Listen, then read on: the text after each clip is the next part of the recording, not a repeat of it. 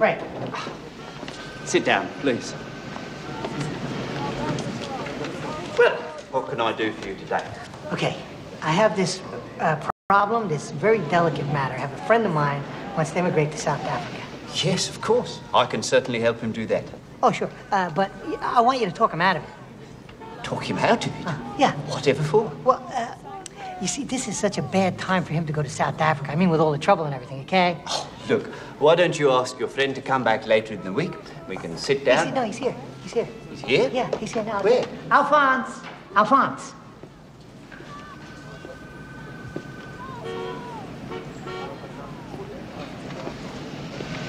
How you doing? I think there must be some mistake. Say what? Sir, listen to your friend here. He knows what he's talking about. I I don't think you really want to go to South Africa. Why not? Because you're black. You are. He is. Of course I'm black. That's why I want to go to South Africa.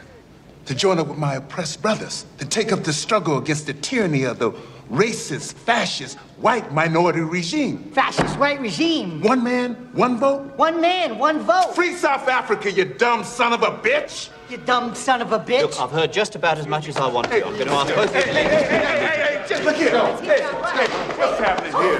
Hey, back off, back off. Take one man out. Free South Africa.